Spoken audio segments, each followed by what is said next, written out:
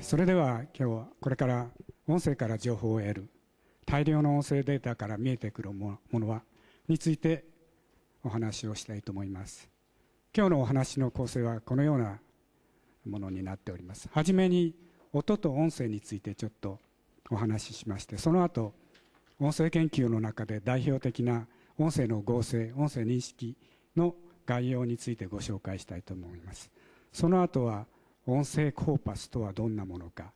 大規模コーパスから見えること音声コーパスの利用音声コーパス類似性の可視化などについてお話をしてその後音に関係あるという意味で音響データベースについて簡単にご紹介して最後にまとめたいと思います。あの初めに音と音声についてですが音は皆さんあの身近に感じていらっしゃるわけですがあの物物体の振動です。一番単純な音はあの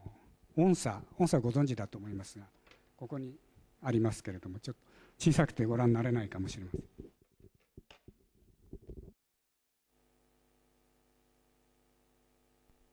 これ指で弾きますと音が出ますが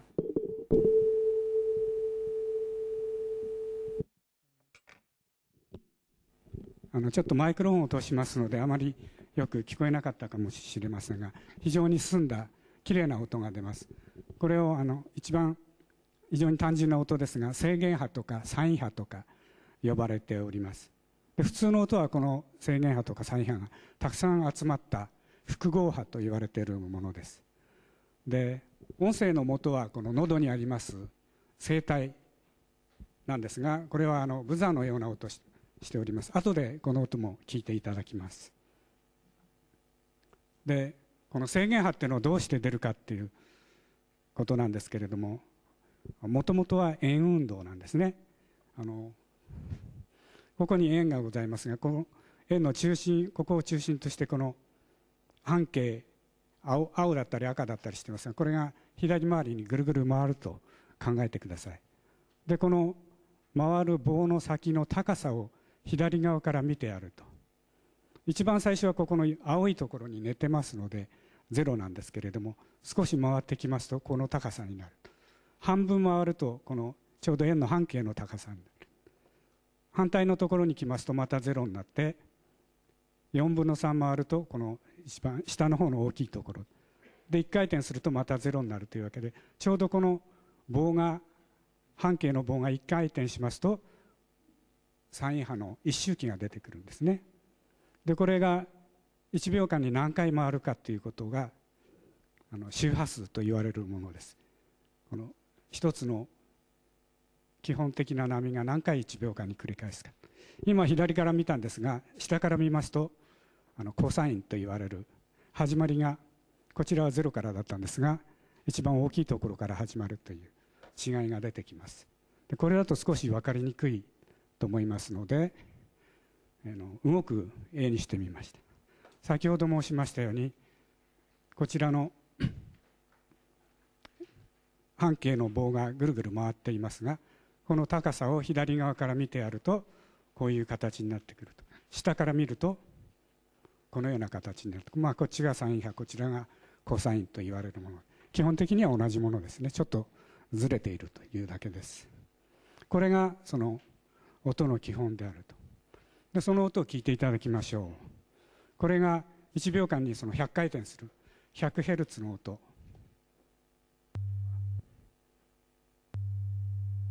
ちょっと低い音ですけれども。2倍の200ヘルツですと。こんな音ですね。で3倍の300ヘルツ。で100と200を足してみますと。少し濁った音になります。でさらに300を足しますともっと濁ってきますね。波形も3波っていうのは非常に単純な綺麗な形をしてますが足していくとだんだん複雑な形になるというわけです。でそれをもう少し別の形で書いてみますとこの足した形がこの実践で書いたものですけれどもその成分となった100200,300があの点線で書いてあります。でそれを一つ一つ成分に分解しますとその100 200、300ちょうどこの100が1周期くらい間に200の方は2回繰り返してるわけですね。300は 3, 3回繰り返してます。でこのような先ほどこの複雑な波が実はこういう単純な制限波を3つ加えたものであるということを表すためにスペクトルという表示を用います。100、200、300のところに100の制限波はこの高さであると。200は小さいわけですね。300はその中間ぐらいの大きさで。これを足し合わせるとこの複雑な波が出てくるというわけです。でこれをもっと足したらどうなるか。これをどんどんどんどん足していきますと音声が出てきます。でこれは例えば男性の「あ」ですとこのような形のスペクトルをを作ってやれば男性の「あ」が聞こえると。で「い」は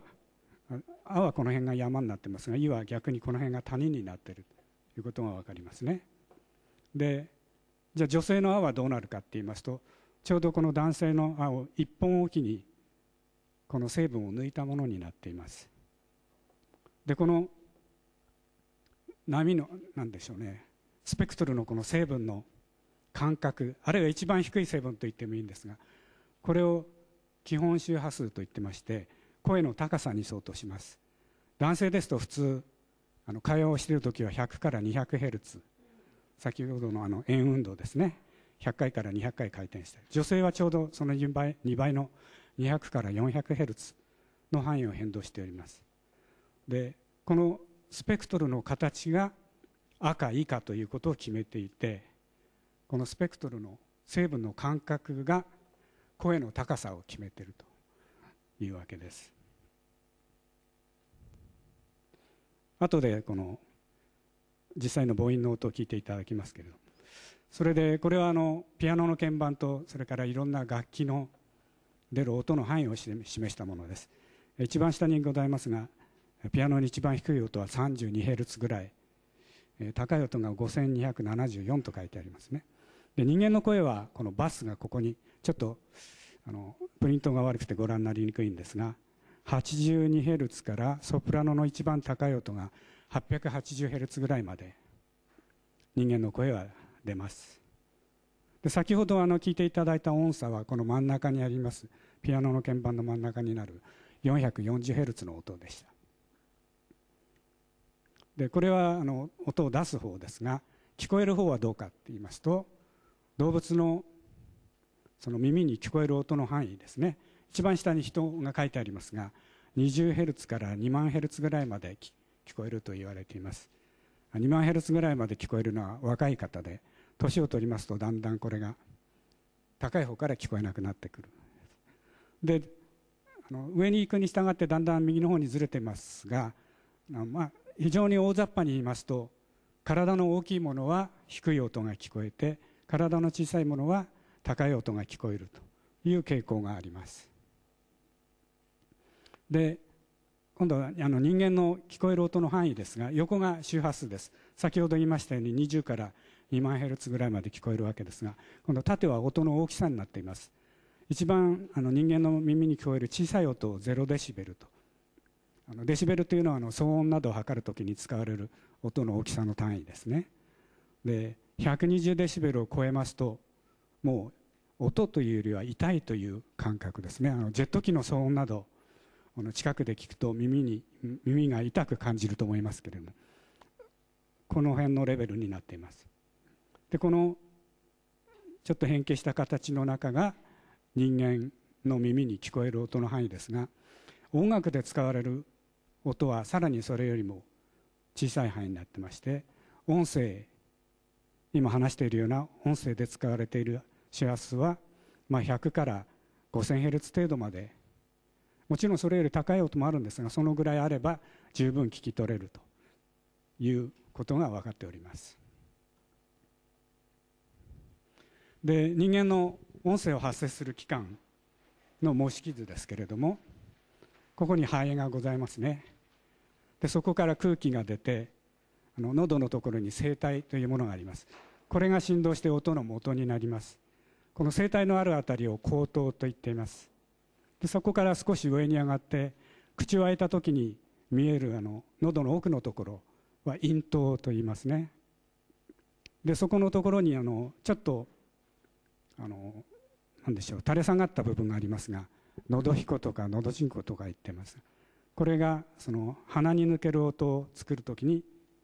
あの重要な働きをするものです。で口の空の広がりのことを口腔。で鼻の通路のことを鼻腔と言っています。で舌が音声を作るときに重要な働きをしますしそれから唇や、えー、鼻の鼻にかかる音は鼻孔から出てくるというわけですね。でこれをあの何でしょう。模式図的に表しますと肺から気管を通って声帯で音の元を作る。で後でもうちょっと詳しくご説明しますが声帯から上の音の空気の通り道を声道声の道と言います。それが口から出るときは唇から音が出ますし鼻から出る場合もあると。それからこれからあのお話を進めていく段階で音素とか音節という言葉をちょっとだけ使います、えーと、日本語あのローマ字で書き表した時にそのローマ字1文字に相当する音非常に大雑把な言い方ですがそれを音素と言っています。それから仮名1文字で表した時ローマ字では2文字とか3文字になりますがそれを音節と呼んでおります。でこの先ほどあの説明をしないで制度という言葉を使ってしまいましたがこの声帯ここにありますね。声帯から唇までの音の通路あるいはもちろん鼻から出る時もあるんですけれども両方含めて声道声の道と言ってます。でこの音の元になる声帯はあのブザーのような音をしておりますが今からそれをちょっと実演をしてみたいと思います。これが肺の代わりです。あのビーチボールに空気を入れるポンプです。それからここに声帯の代わりをする小さい笛ですね。それがあってでこれが先ほど言いました声道です。あの声帯から上の空気の通り道ですね。で人間の場合にあの日本人の男性ですと大体17センチの長さ。この声帯から唇までまっすぐ伸ばしたと考えていただくでこの形が音によって違います。これが何が出るかっていうのはお楽しみで実際に聞いていただいた方がいいと思うんですが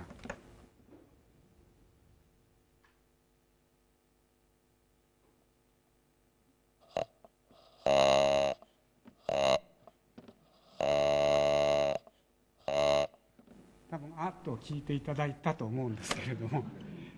これがあの「あ」に似た口の形ですねで別の音を聞いていただきましょ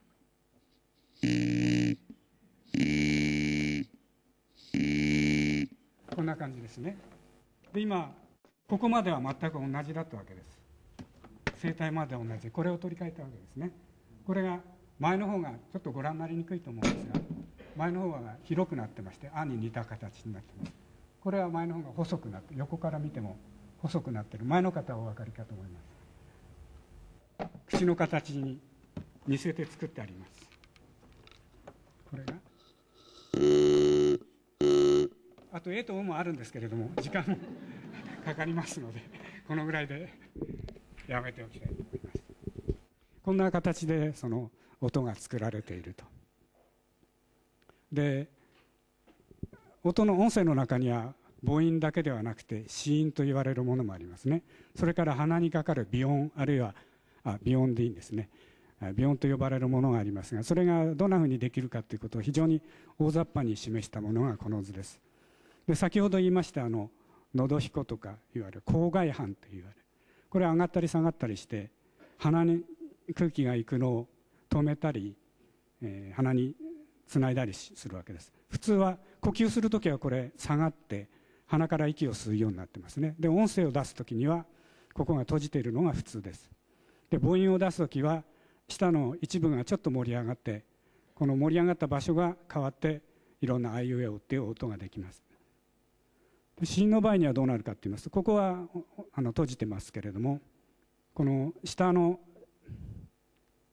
盛り上がりが非常に強くなりましてこの聖堂の中空気の通り道を非常に狭くしたりあるいは完全に閉じたりしてあのそれを急に開く時に出る音を使ったりしています。下にあるような音ですね。母音はあいうえお子音はあのパタカバダガなどのその最初の母音がない音です。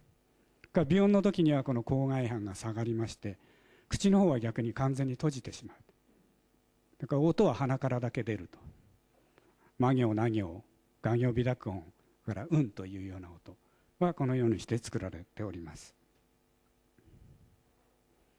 で音声の作る過程とそれから聞き取る過程ですね。それをあの模式的に書いてみますと話す人の脳で考えたことが運動神経に伝わってそれが指令となって先ほどの音声器官を動かして音波が出ると。で空気中を飛んで今度は聞いてる人の耳に入ってその人の感覚神経を刺激して、えー、聞いてる人の頭の脳の中で知覚されるというわけです。でこの空気中に出た音は一方自分自身の耳にも入りますね。で感覚神経をとって話している人の頭の中にも戻ってきます。でこのフィードバックって書いてありますが自分自身でこの自分の出した音を聞き取るという過程がその音声を覚えるあの言葉を覚える時には非常にあの重要な働きをするということが分かっております。で音声に関する研究はこの頭の中から運動神経のあたりまでは言語学に関係しますし運動神経から音声器官を動かすあたりまでは生理学。で一旦空気中に出てきますと音響学といった具合にいろんな学問に関連しております。で音声の研究に入りたいと思いますが、まあ、音声情報処理と言われている、まあ、いわゆる工学的な音声研究がありますね。音声の自動認識であるとか分析合成それから言語何語で話しているのかということあるいは話している人はど誰か話者認識と呼ばれる分野などがあります。でそれからあのより学問的といいますかあるいは文系的と言ってもいいかもしれません。言語学や音声学の分野があります。音声の分析をしたりいろんな音の特徴を見つけ出したりする。それから一方その世の中にはいろんな言語がありますがだんだんその話されなくなってしまう。で言語が消えてしまうという状況があります。危機言語などと言われておりますがそういう言語を保存するというあの大事なこともあります。で音声合成の原理なんですけれども先ほどご紹介しましたその人間の音声器官を真似をするというのが基本ですね。ここに声帯があって声道があってここでいろんな共鳴をして音が出てくる。ですがその音の元は、えー、声帯に対しては有声音源、まあ、声声があるという意味声帯が振動するという意味で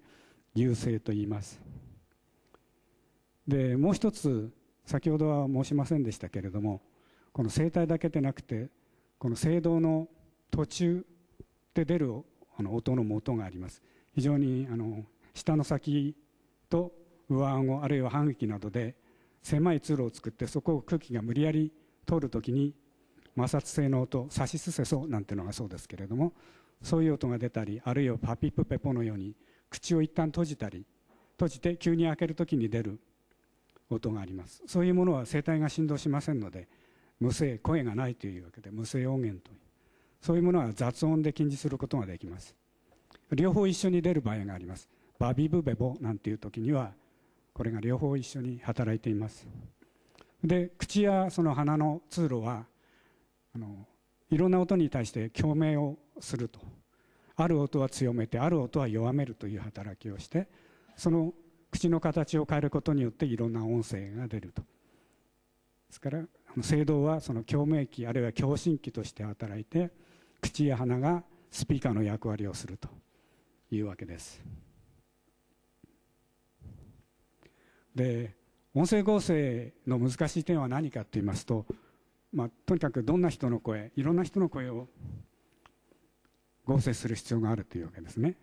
それからこれは音声認識でも同じなんですが超音結合と呼ばれる問題があります。音声のつながりのことなんですけれども例えば「あ」という音がありますけれども「青い」という時の「あ」と「間」という時の「あ」は少し性質が違うんですね。ご自分であの発音してご覧になるとお分かりになると思いますが「青い」という時には次の「お」に引っ張られまして「お」の影響を受けてやっぱり「お」に近いような「あ」になっていると「間」っていう時には次の「い」の影響を受けてやっぱり「い」に近い「あ」になっているというわけであの同じ「あ」でも前後関係によって違ってくると。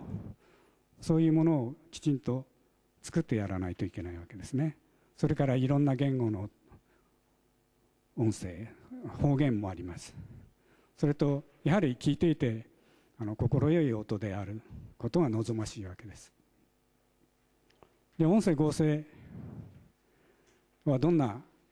やり方で行われているかと言いますと一番最初に、まあ、文を書いたテキストが入ってくるわけですね。でそれに対して文法とか辞書を用意しておきましてその漢字の読みあるいはいろんな単語のアクセントをつけたりする読みアクセント処理ということを行います。でここからあとはスペクトルと韻律という2つの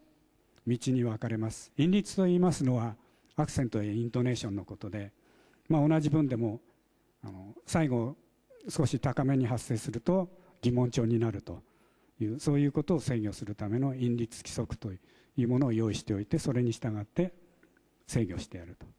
でスペクトルは先ほど申しましたようにいろんな音の種類に対応している。でスペクトル情報各音のに対応するスペクトル情報を用意しておくわけです。でこの2つを合わせて音声波形を作って合成音声にしてやる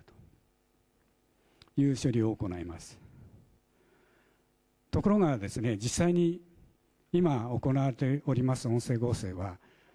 先ほどの原理とはちょっと違った方法で高パスベースの音声合成というやり方をしています。それはあらかじめ音声データベースというものを用意しておいていろんな音声を用意しておくんですね。例えば「歯」というものお墓の墓ですね。それから華々しいとか長さ促すとか桜佳作とか、まあ、とにかくいろんなあの人間の実際の発音を用意しておくわけです。で例えば今「花が咲く」という音声を合成したいという時にはこのデータベースの中からこの花が咲くっていうのを探してくるわけです。であればもちろんそれをそっくりそのまま持ってくればいいんですが大抵やっぱりないんですねこの中には。そうしますとこれを先ほどちょっと申しましたその音素に全部分解してやるとまあ音素に分解すれば必ずどっかにはあるんですけれども先ほど言いましたその超音結合っていう問題がありますから単純につなげばいいというもんじゃないんですね。なるべくこの花が咲くに似たようなものを持ってきたい。でじゃあ2つぐらい続けてつないで「葉」とか「長」とか「咲く」という形に分けてやるか。あるいは「半」「あが」「さ」と「く」とかいろんな分け方があるわけですがこの中にあるものとこの分け方を比較してあるもちろんあの規則を用意しておくんですがその中で音が一番良くなるような組み合わせをこの中から探してくるというやり方をしております。この方法が一番音質がいいということになっております。でその音声合成の例をいくつか聞いていただきます。えっと、一番古いのは1977年に作られましたストックホルム王立工科大学というところで作られたものでこれ英語ですね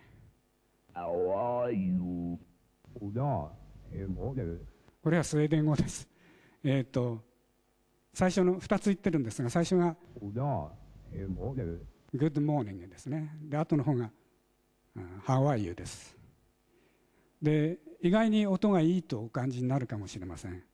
地震のような突発現象を予知することは難しい。地震というものが本当に突発的であって、それの起こる前に前兆的なものが全然何も現れないというものであるならば予知は原理的に不可能である、えとあまり長くなったものですからこれは先ほどの音から約10年経った後の合成音です。さらに10年ぐらい経ちますと。車は私たちの生活から切り離せない道具となっています。しかしその使い方を誤ると悲惨な交通事故を生む凶器になったり騒音振動排気ガスなど道路の周りの人たちに大きな迷惑を与えるものになったりします。えっ、とこの3種類の音を比べてあんまり違わないと多分感じられるんじゃないかと思いますね。この77年の音が意外にいいと。でそれはあの音声を分析しまして人間がその人の手でなるべくその分析した音に似せるように音を作ったものですからその文字を入れてやればそのままあの音が出てくるというやり方ではありません。とにかく真似できる範囲であの一生懸命真似をしたというものですね。でこの真ん中のものになりますとあの規則合成といいまして文字情報を入れてやると自動的に音声を合成するという方法今のやり方に近いものになっています。で3番目のものが先ほど申しましたコーパスベースの合成音声というもので人間が話した音をあらかじめ用意しておいてデータベースからなるべく近いものを持ってくると。いうやり方でこの2つのものはあの今どちらも使われております。で合成は大体それで終わりにしまして今度は音声認識の方に入りたいと思いますが、えー、音声認識の方はまた難しさが一つ増えます。一つはあの話者変動といいましてその同じことを話しても人が違うとその音声の性質が違いますね。男性と女性でも違いますし同じ男性でも大人と子供では違ってきます。それから2番目の時間変動といいますのは同じ人が同じことを話してもさっき言った時と今話す時では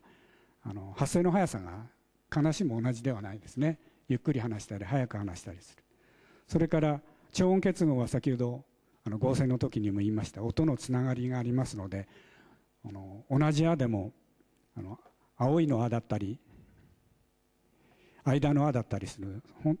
えー、分析しますと違ったふうに見えるんですけれどもそれを同じ「あ」だとまとめなければいけないわけですね。それから合成と少し違うのはこの背景雑音の問題が。一般にあのいろんな音を街の中なんかでは車の音がしたりしてその中からその音声だけを拾ってこなければいけない。それからあのいろんな言語方言に対応するということはあの合成の場合と同じです。で音声認識システムはじゃあどのようになっているかと言いますと合成よりも少し複雑になります。で音声波が入ってきますとまず音声区間どこからどこまでが音声であるというその雑音でない部分でそれを探すというわけですね。で音声分析をしていろんな音声の特徴を取り出すということが行われます。でその後は音素先ほど言いました音素のレベルですね。ローマ字で表した時の一つの文字に相当するもの。それから単語レベルの処理構文レベルの処理というふうに3段階に分かれます。で音素レベルでは音素モデルというものを用意しますし単語レベルでは単語辞書を用意する。それから構文レベル文法的なレベルではその意味知識などの助けを借りると。それから先ほどちょっと申しましたあの韻律の情報も取り出さないといけないと。いうわけでそれらを組み合わせて音声認識をすると。かなり複雑な過程になっています。でこの音声情報処理あるいは音声認識音声合成で使われる手法としまして代表的なものに隠れマルコフモデル略して HMM って言ってますがこれが最近では非常によく使われています。またその言語情報を使う場合ですね言語モデルで2文字の組3文字の組あるいは2単語3単語の組などの出現頻度を言語モデルの言語情報として使う。いうことが行われていますし合成では先ほど申しましたようにコーパスベースの音声合成というものを使いましたので使っていますので、えー、両方ともたくさんの音声あるいは言語データが必要になるというわけです。で音声コーパスという言葉すぐにあのご説明いたしますけれども、まあ、たくさんの音声データと考えてください。音声情報処理の先ほど申しました認識合成あるいは分析などの研究を行うためにたくさんのデータが必要である。それから世界のいろんな言語の音声研究や方言の研究もそのコンピューターが進歩してきましたので軽量的な研究を行うことができるようになったというわけで各種大量の音声データが必要とされるようになってきました。で単語や連続して話したものいろんな言語方言などのそのデータをたくさん作る必要があると。また危機的言語を保存するという役割もあります。で音声コーパスという言葉の説明をしないで使ってしまいましたけれども音声に関連情報どこからどこまでがどういう音声が入っているかというラベルとかタグって言われてるものですがそういうかんあるいはその書き起こした文字テキストですね。そういう関連情報と一緒に高品質で体系的に記録したもの。それを保存して検索などに利用すると。いうものを音声コーパスと呼んでおります。で各種大量の音声データの体系的な蓄積で共通利用公開を前提とするわけですがあの、まあ、よくデータベースという言葉も使われます。こちらはそのデータを検索するデータベースシステムと言われるものを指すことが多いのでそのデータの集積集まりそのものを指すためにそのコーパスという言葉が使われるようになりました。というわけでこれからはそのコーパスという言葉を使っていきたいと思います。でそれに要求される条件としましては、まあ、いろんなものが入って多様であるということ偏りがない量が多いと。でしかもそれが統一されているとまとまっているということですね。でたらめではない。で使いやすい必要があるというわけです。で音声コーパスは音声データにその関連情報を付け加えたものですが音声研究に使われることはもちろんその機器言語などの重要なあの言語をデータを保存するという役目もあります。でこのデータを公開することによってみんなで使えるようにすることによって研究が客観的に行うことができるようになるで先ほど申しましたように文化遺産の保存という面でも役に立つと。考えることができます。で世界の言語の現状を大雑把に見てみますと約6000から7000の言語があると言われています。ですが世界の人口の94%の人はその7000の言語の中のたった5%の言語しか使ってないんですね。で残りの95%の言語6000、7000のうちの95%だから何千ということになります。それは人口の中の6%の人が話していると。だから非常に少ない数の人がたくさんのいろんな種類の言語を話している。でこの中の言語があの日々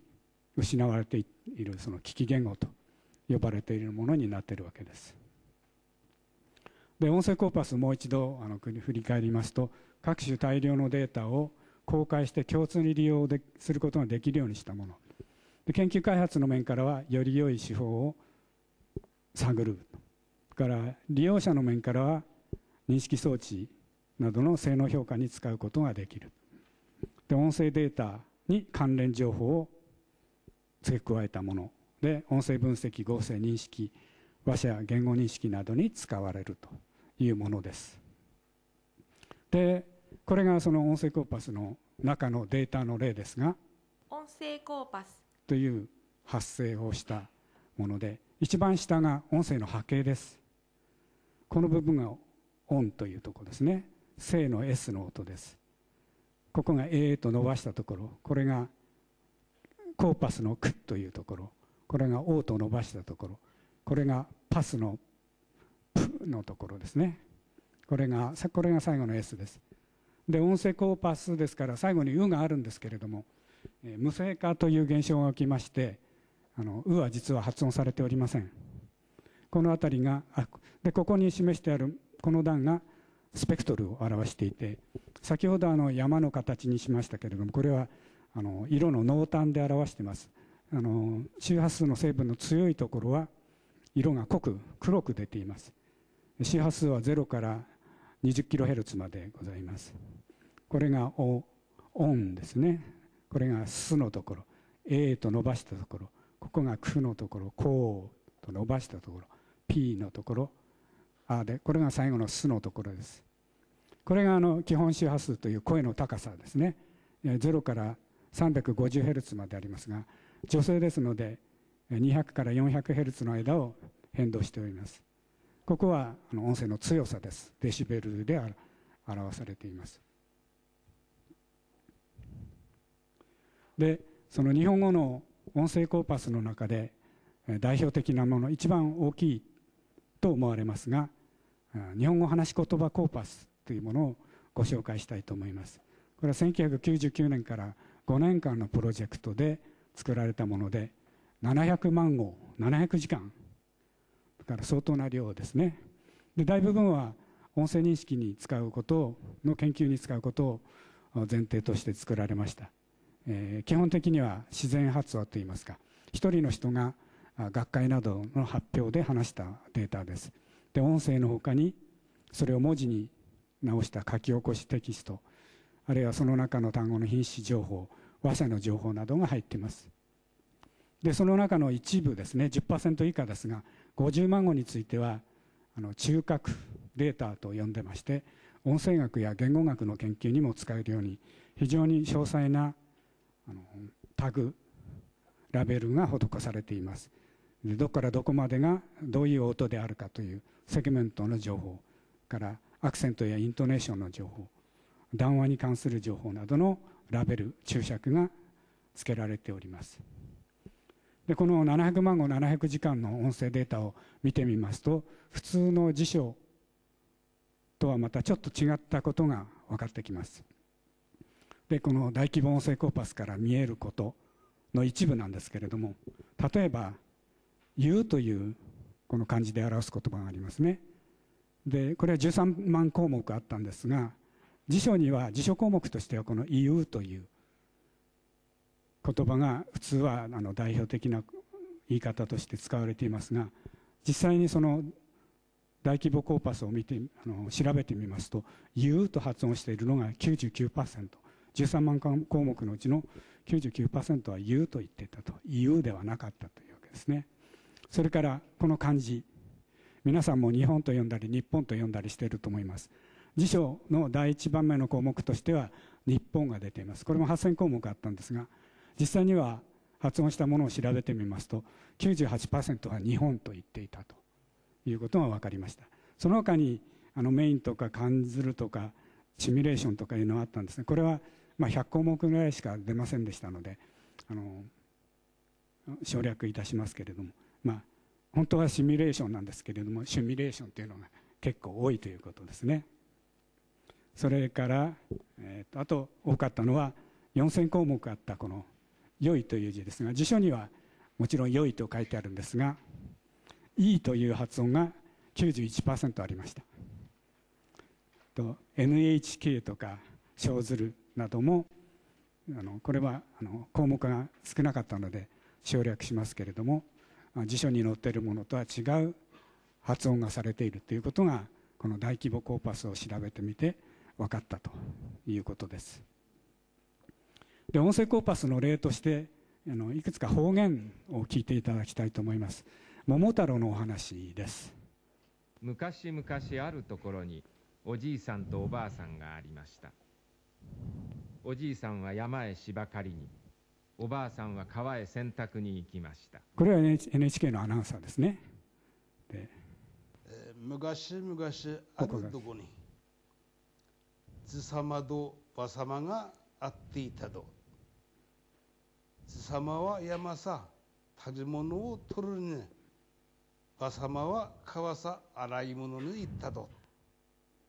昔昔のこんじゃった。あるとこへおじいさんとおばさんがおいやったちやい。おじいさんな山せ芝かいき行って、おばさんな川へ洗濯行っきゃったちやい。内容は全部同じです。でこれはお分かりになるかどうか昔昔あるところんかい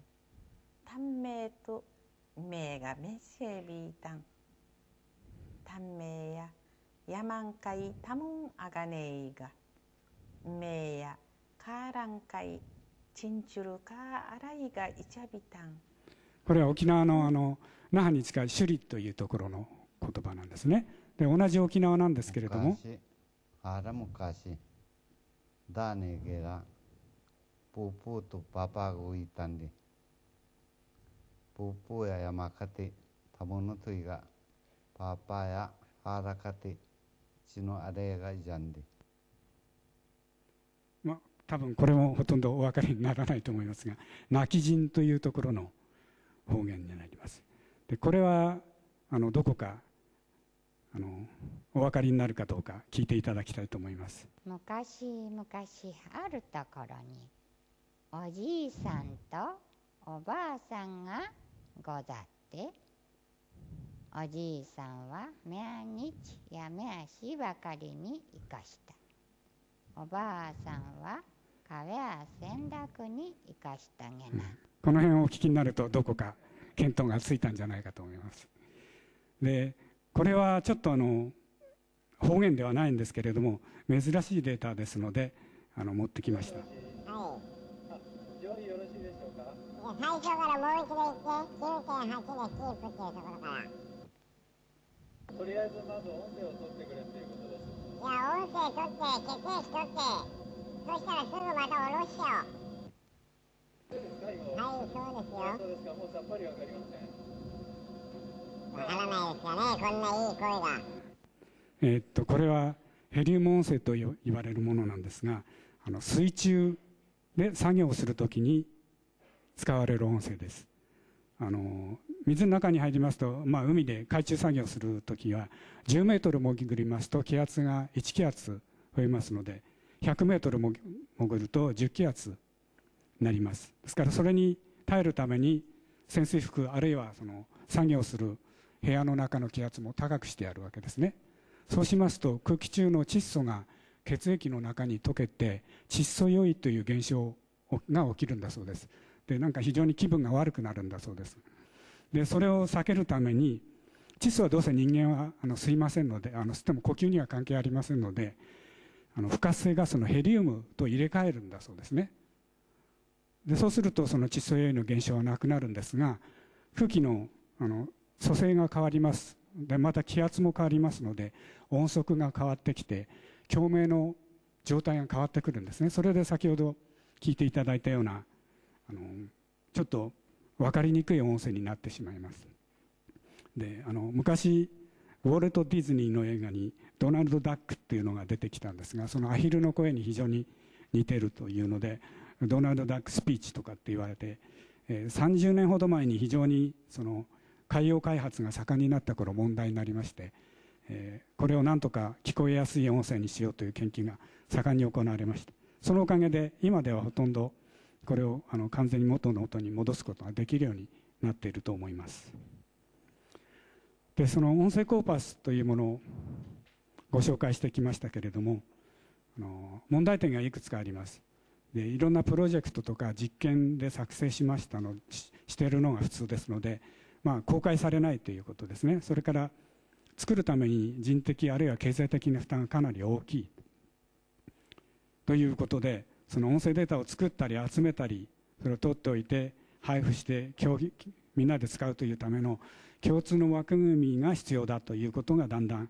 あの認識されるようになりました。それで各種の音声データの収集管理配布を行う機関があの世界の各地で行われるようになっなってきました。で日本でもこの音声資源コンソーシアムっていうのは作られたんですがこれは後でご紹介しますが世界の動きを見てみますと1992年にアメリカにこの言語データコンソーシアムっていうのが作られました。でそれから3年後にヨーロッパ言語資源協会ができで21世紀に入りましてから韓国中国に相次いで同じようなその音声データあるいは言語データを扱う組織ができてきました。日本では少し遅れまして99年に言語資源協会 GSK と呼ばれるものができまして、まあ、どちらかといいますとテキストコーパスですね。音声よりはテキスト文字テキストに重点を置いて活動しています。で2006年になって国立情報学研究所に音声資源コンソーシアムが作られました。でこれは日本の情報学のセンターとして情報メディア特に音声メディアの未来価値創生に向けてあの国立情報学研究所に音声資源コンソーシアムを設置したというわけです。で音声コーパスの収集配布研究事業を行っておりまして2006年の6月にサービスを開始しました。でホームページはここでご覧いただけます。で音声資源コンソーシアムでは音声資源の構築配布普及の促進を進めておりますが具体的には音声コーパスの内容所在利用方法に関する情報を集めてそれを提供すると。公開されていない音声コーパスの提供を依頼すると。既存の音声コーパスの配布や普及広報活動を行うそれからデータを提供してくれる方とそのコンソーシアムの間あるいはコンソーシアムと利用者の間の標準的な契約書を作ってあの広く利用できるようにすると。それから音声コーパスに関する研究調査を進めております。で現在31種類の音声コーパスを配布しております。音声工学や言語教育言語学音声学に関係するいろんなデータですね。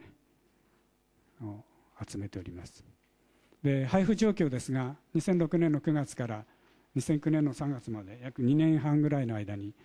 申し込みが433件配布した数は1000件を超えております。内訳を見ますと、まあ、大学がやはり圧倒的に多く75%ぐらい企業が25%国内国外では国内が80%国外が20%ぐらいという状況になっております。それでだんだんそのコーパスが増えてきたのはいいんですが、えー、たくさん増えてきますとその、まあ、一覧表っていうのを文字テキストで作っておきますがそのコーパスの基本的な情報は扱っている機関によって違っているという状況があります。でたくさんの量のコーパスリストから目的に合ったコーパスを選ぶことが難しくなってきました。というわけでそれを簡単にするためにそのコーパスの特徴を表す属性項目による分類というものを考えてみました。で音声コーパス間の関連性類似性を目で見えるようにするということを始めました。でこのコーパスの分類に使う特徴ですが8つの属性58個の項目というのを考えました。属性はここに8つ8種類ありますが入力デバイスであるとか入力環境話者発話スタイル発話モードなど。でそれぞれの中にさらに7項目とか5項目ありまして、まあ、入力デバイスというのはマイクロフォンですね。どんなマイクを使っているか。収録環境は普通の部屋か防音室かといったようなことです。このようないろんな全部で58種類の項目を挙げましてそれをにあの多次元尺度構成法という方法がありまして、えーと、もともとはその58種類の属性があるんですけれどもそれを目で見やすいように2次元の平面にもともとの構成を一番保つような形で移してくるということをやってみました。でコーパスはあの46種類、えーと、我々の音声資源コンソーシアムで配布しているもの23種類国内のもの16種類国外のもの7種類を分析しますとこんな形になります。これ1番から46番までありますがこれだけではお分かりになりにくいでしょで大雑把に見ますとこの ABCD という4つのグループに分けられることが分かります。で内訳を見てみますと A というのは、まあ、1つの言語で話者が100名以下で連続して話した音声であると。B は話者が100名以上で。C は対話の音声はロバストって言いますのはあの雑音なんかがある場合でも対応できるという意味ですがそういう環境での音声認識の研究に使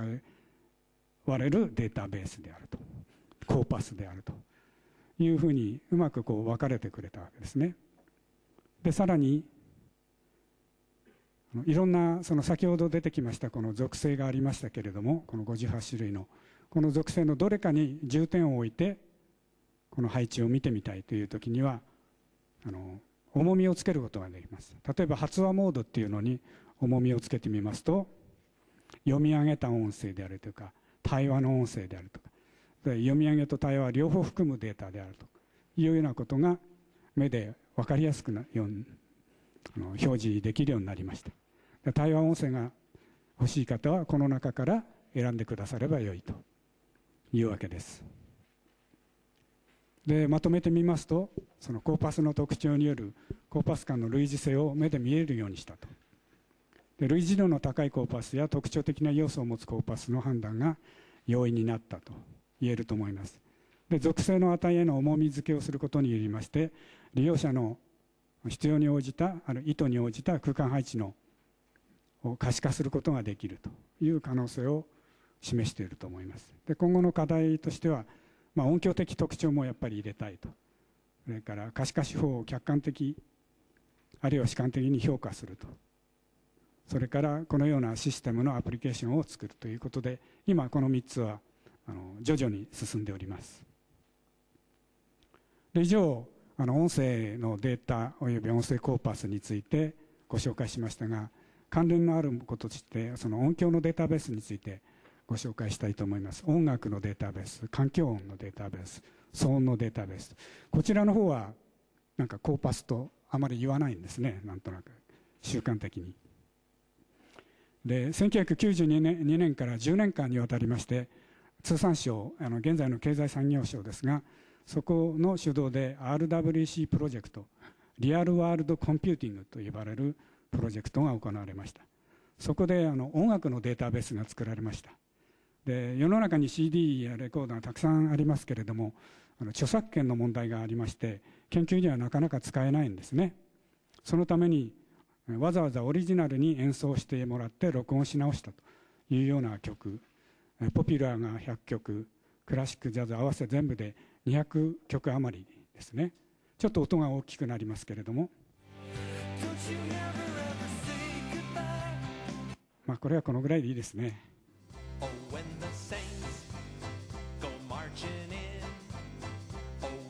まあこんな音ですね。それからこれはクラシックも入ってる。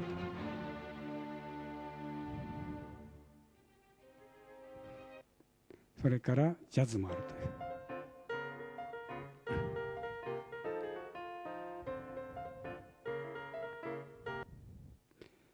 えーと、これがその音楽のデータベースなんですがその他にこのやはり同じ RWC のプロジェクトで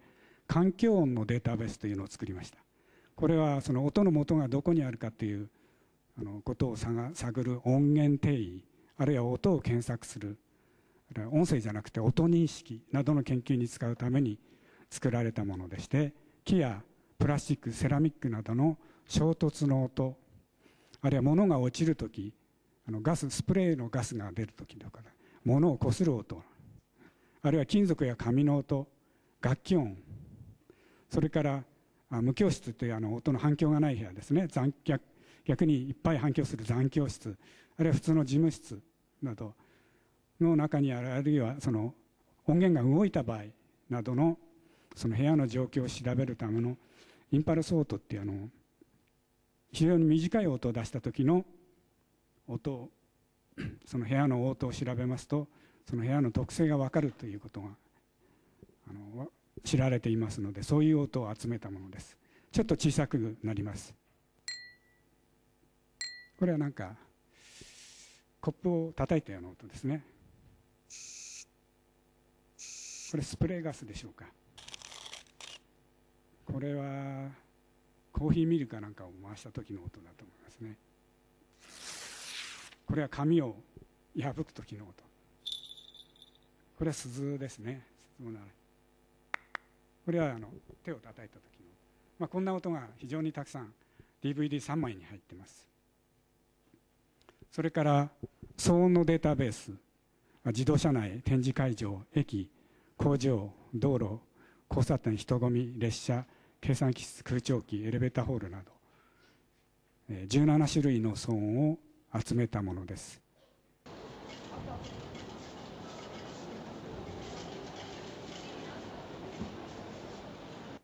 これはこの展示会場の音だと思いますがこんないろんな17種類の音が DVD-R2 枚に入っております。えっ、ー、と以上あの音とはどんなものであるかあの振動からできていると。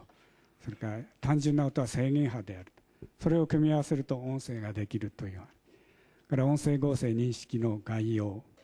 それから音声コーパスとはどんなものかどのように使われるか。大規模のコーパスから見えること音声コーパスの類似性を目で見えるようにするにはどうするか。で最後に音響データベースというものをご紹介しました。えー、っとさらにご興味のある方に参考図書手前味噌で恐縮ですけれども音声工学という本がありましてこれは今日お話ししたことをもっとあの詳しく知りたいという方のにはご参考になるかと思います。それから下の方は少し古い本になりますが音声だけでなくて視覚の話聴覚の話それから脳の話自然言語処理の話なども入っております。知識知能と情報に関する広い分野を眺めることができるというものです。それで今日のお話に関連ある行事としまして、えーと、今年度の秋にシンポジウムが予定されております。言語音声データの学術利用に向けてということで10月15日この学術総合センターこの部屋かあるいはもっと大きな部屋になるかもしれません、えー、プログラムはここに書いてありますように、えー、国立情報学研究所の所長副所長国立国会図書館の館長から弁護士の先生それから音声や言語コーパスに関連ある研究をされている、えー、産総研の方、情報通信研究機構国立国語研究所あるいは企業の方も入っております、えー、非常に多彩なメンバーによるシンポジウムでパネル討論などもありますのでご興味のある方はぜひあのいらしていただきたいと思います長い間どうもご清聴ありがとうございました。